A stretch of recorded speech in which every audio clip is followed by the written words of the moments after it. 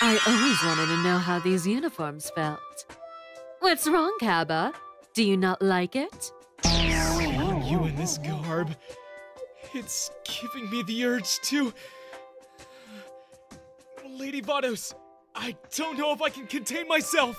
Don't hold back. Give in to your desire.